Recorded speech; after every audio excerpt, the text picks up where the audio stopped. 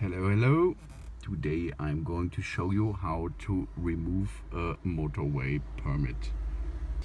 We will need a blade, razor blade, glass cleaner and a cotton cloth. Okay, now we use the blade for removing the permit. Start at the edges.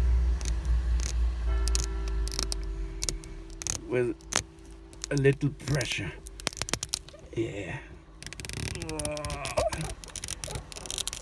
Move the blade like a wave.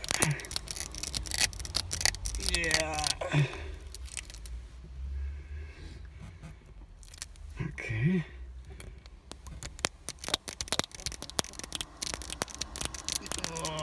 Yeah, done. Now use the glass cleaner at the area of the permit. Um, after a few seconds we will use the cotton cloth to clean out the area.